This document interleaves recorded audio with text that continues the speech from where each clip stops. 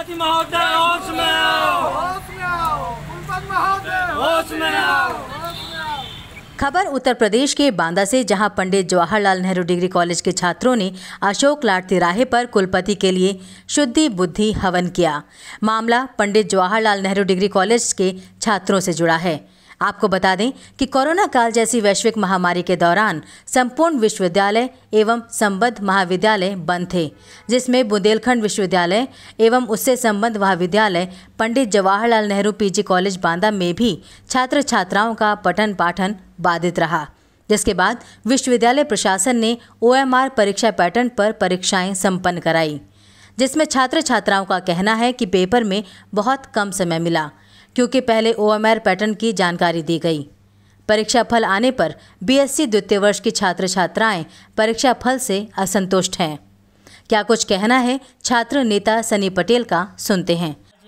हमने अशोक लाट तिराहे बुंदेलखंड विश्वविद्यालय के कुलपति महोदय के खिलाफ उनके बुद्धि शुद्धि को लेकर हम पंडित जयहर महाविद्यालय के छात्रों के साथ हवन किया, जिसका सबसे मुख्य रूप से ये कारण है कि कुल विश्वविद्यालय के कुलपति महोदय निद्रा में लीन हैं और छात्र छात्राओं के भविष्य भविष्य के साथ खिलवाड़ कर रहे हैं। चार दिन पहले बीकॉम के छात्रों के साथ परीक्षा फल में बहुत बड़ी त्रुटि हुई थी, जिससे बहुत से छात्र अनुत्तीर्ण हुए। उसके बाद हम लोगों ने उस विषय पर मांग उठाई, जिसके बाद उस पर संशोधन हुआ।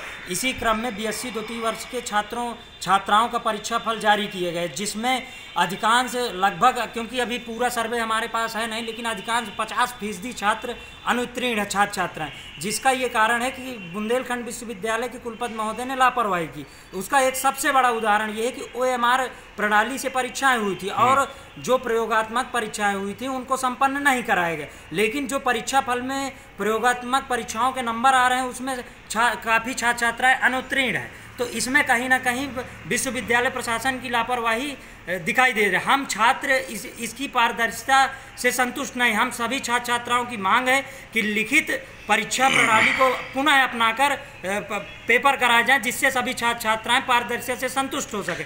महाविद्यालय के छात्र छात्राओं की मांग है कि विश्वविद्यालय प्रशासन परीक्षा फल को निरस्त कर पुनः लिखित परीक्षाएँ कराए, जिससे वर्तमान परीक्षा फल में त्रुटि को लेकर असंतोष कम हो सके। एवं परीक्षा फल की पारदर्शिता सामने आ सके। मांगे न मानने पर छात्र आंदोलन की धमकी भी दे रहे हैं और जिम्मेवारी प्रशासन पर डाल रहे हैं। पंचौरा न्यूज़ के लिए बांदा से अनवर रजा की रिपोर्ट।